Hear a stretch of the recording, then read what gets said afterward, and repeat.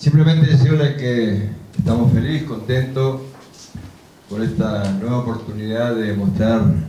a nuestra catarata y por supuesto a la ciudad de Iguazú, que cada, cada vez reúne más atractivos locales, que cada vez crece más en cama, cada vez crece más en oferta gastronómica y recreativa. Y creemos que en esta instancia la oportunidad no solamente es valorar lo que ha hecho la Cámara de Representantes en designar a Iguazú como sede permanente del turismo, sino que además decidir que eh, el Día Provincial Turismo sea el 11 del 11, sino además este, aprovechar que eh, en ese día el mundo entero va a estar este, atento a las acciones que vamos a desarrollar. Y no quisimos hacerlo en un solo día, por eso vamos a hacer una semana de acciones en la cual el empresariado misionero que tiene atractivos turísticos dentro de cualquier municipio se concentre en la ciudad de Puerto Iguazú, puedan tener una jornada de intercambio de experiencia, de conocimiento, de información, este, acercarle también este, de parte del Ministerio de Turismo y también del ente municipal que presido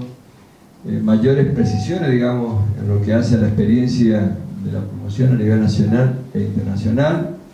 Por otro lado, vamos a convocar a los eh, responsables de eh,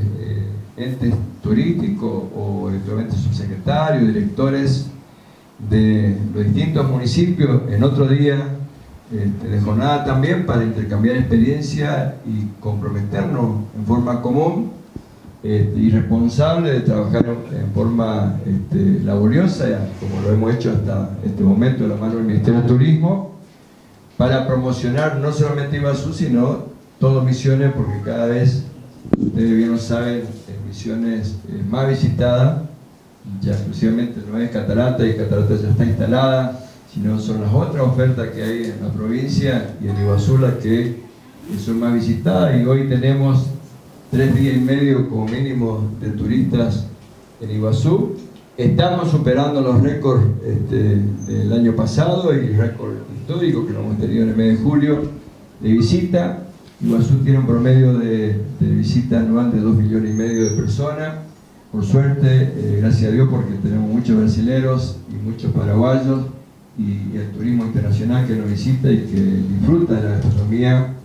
y de la vida nocturna de Puerto Iguazú. Simplemente decirle que estamos comprometidos con esta fiesta, queremos invitarle a todos los misioneros que vayan, van a tener descuento en la gastronomía, en el alojamiento, en todas las actividades que va a haber. Y por supuesto este evento, en el cual van a estar los mejores modelos, son alrededor de 12 modelos de primer nivel que van a estar desfilando, este, van a estar los auténticos decadentes, pero además lo que quiero decir es que eso es ah, completamente gratis, y que simplemente es festejar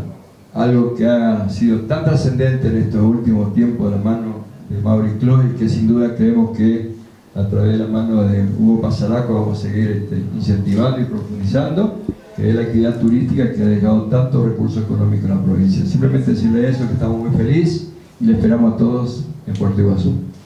Sin duda para Misiones, el 11 del 11 del 2011 fue como ganar el Mundial eh, es un momento donde todo a nivel turístico, a nivel mundial, a nivel internacional, se habló de misiones, se habló de cataratas, se tuvo como referencia, estuvo en boca de todos, tuvimos como una presencia en medio, ¿cuántos medios fueron en ese momento, Marcelo? Que un millón sesenta mil eh, noticias aparecieron en todos los medios del mundo, en una carpeta que era así, de, borda con las impresiones de todo lo que significaban los medios que habían participado. Fue como ganar un mundial. Pero todos sabemos cómo es el turismo eso vos ganás el mundial y también pasa en el fútbol, pero después tenés que seguir revalorizando tus títulos. Y si uno se fija cómo evolucionó el destino, nos damos cuenta que primero, a lo largo de todo el proceso de lo que fue la votación de la fue subiendo, incrementando. Esto fue fines del 2011. El año 2012 fueron de los mejores números del turismo hasta hace poco.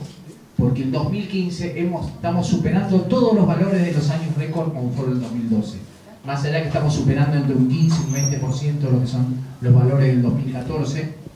pero tomamos como referencia el año más importante, que fue el año que ganamos el Mundial del Turismo, para decirlo de alguna manera, hoy estamos superando esos números, con lo cual hemos sostenido en el tiempo y hemos seguido adelante con la promoción. Pero potenciamos esa promoción. No es solamente pensar, sí, más gente que va a las cataratas.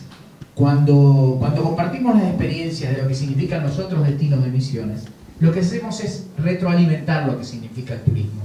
Cuando hablamos, y nos pasó con la experiencia que tuvimos en el evento de la Feria de Aves de Inglaterra, por ejemplo, con todo lo que significa la observación de aves, donde la gente en realidad venía a misiones, pero venían solo para las cataratas. Los observadores de aves fanáticos que querían ver aves en la zona de selva iban a Brasil, iban a Pantanal, iban a las zonas de, este, de Bonito, que están mil kilómetros norte de Misiones. Y cuando le preguntaban cataratas, preguntaban, sí, sí, es parte de mi recorrido. Pero era solo de paso. Cuando iban cuando venían, para ver las cataratas y seguir. Con la presencia de Iguazú y con ir agregándole estos productos, se potencian las dos cosas. Porque no nos queda duda que la observación de aves, que es muy importante en misiones, que significan más de 500 especies de las mil que hay en Argentina, se potencian porque están las cataratas, porque se atraen.